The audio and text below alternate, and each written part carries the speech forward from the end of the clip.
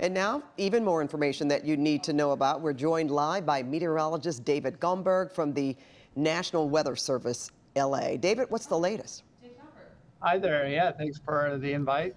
Yeah, so our powerful atmospheric river storm is right on track. Uh, the worst is uh, still yet to come here for Los Angeles County.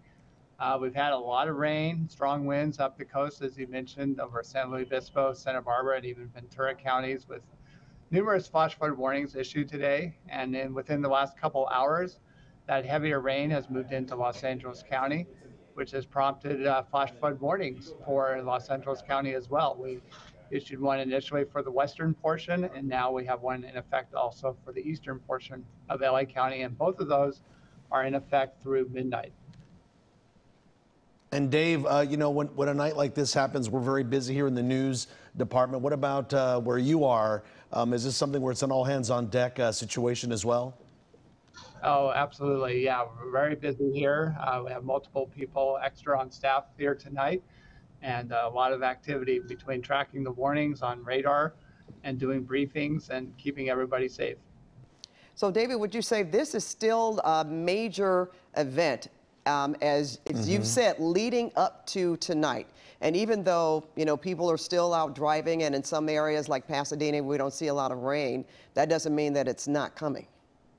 That's correct. Yeah, we're really what sets this event apart from others is that the long duration of this atmospheric river event.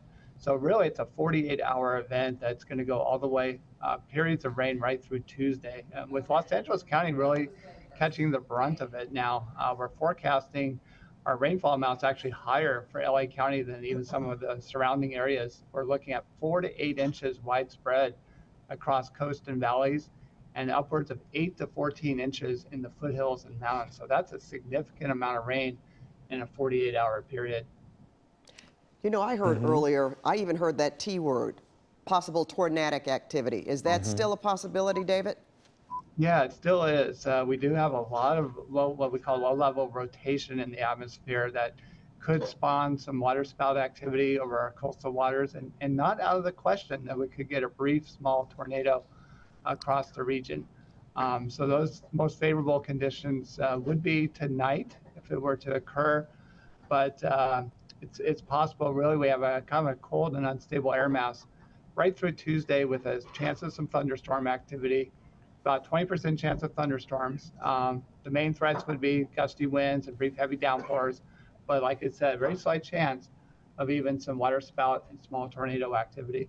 And David, before we let you go, is there a way to predict when this atmospheric river is going to continue moving on? Because as we've been saying, it's stalled over us, uh, giving us so much rain in such a short amount of time.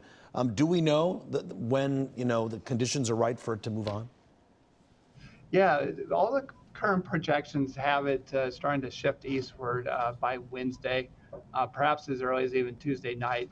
But they all really seem to be honing in on this idea of Los Angeles County being vulnerable right through during the day Tuesday. So as I mentioned, a good 48 hours of moderate to heavy mm. rainfall across the region. Wow.